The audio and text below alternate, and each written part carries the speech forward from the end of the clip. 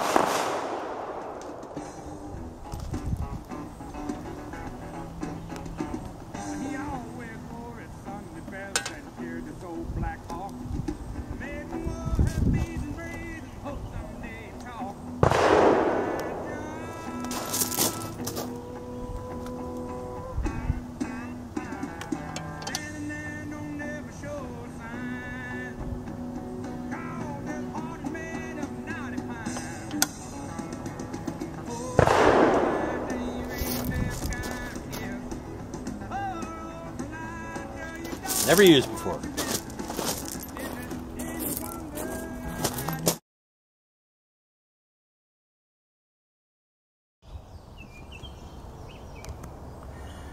Okay, here's 10 rounds of 124 grain going through the LabRadar.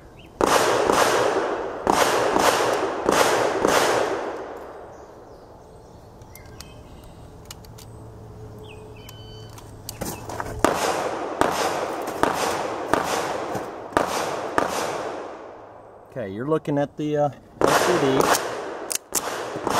Eyes and ears. And here we go. The Chrony says uh, 1036, this says 1057. Chrony says 1040, this says 1064. Chrony says 1038, this says 1060. Chrony says error, this says 1071.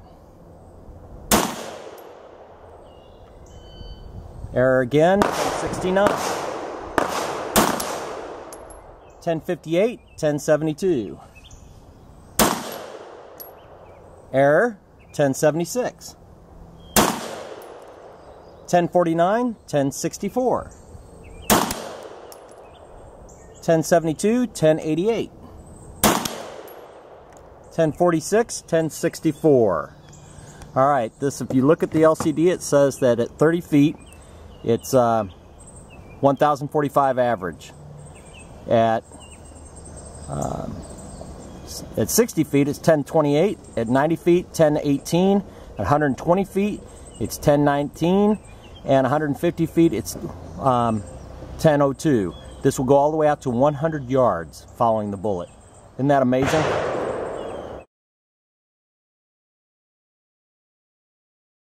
All right, we're on string three now, testing this new LabRadar.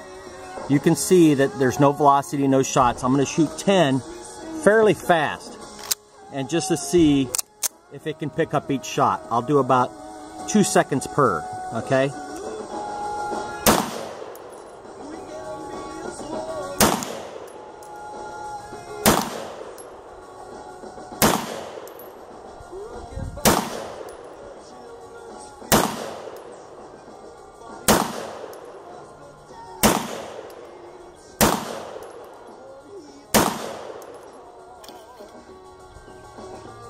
As you can see, it picked up nine of those 10 shots. There might have only been nine in.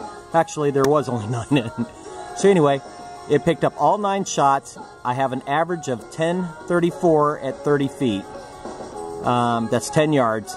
At 10 feet, it was at 1061 uh, on the last shot. It won't show me the average of that unless I set it up to show me that, and I didn't. So the average at 30 feet uh, is 1,034. The average at 60 feet is 1,016. The average at 90 feet was 994. The average at 120 was 190, or excuse me, 94, 954. And the average at 150 feet was 931. So anyway, this thing works awesome. I highly recommend the LabRadar. Back up just a little bit so you can see the unit.